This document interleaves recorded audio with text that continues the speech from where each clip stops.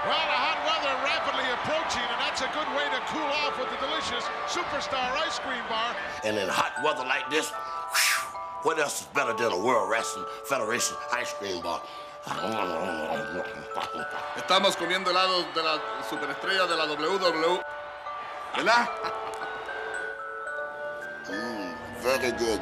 She knows how to keep cool. I got news for you. Mike McGuirk is cool with or without the ice cream bar. After you've been riding a horse for a while and you're in that hot old Texas sun, there ain't nothing better than getting you a Superstars ice cream bar right here and taking a great big old Texas bite. Tú ya lo sabes, Miguel. Me como un helado de los superestrellas.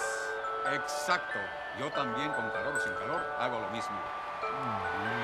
I scream, you scream, we all scream for WWE Superstar Bar Ice Cream. Tough guy?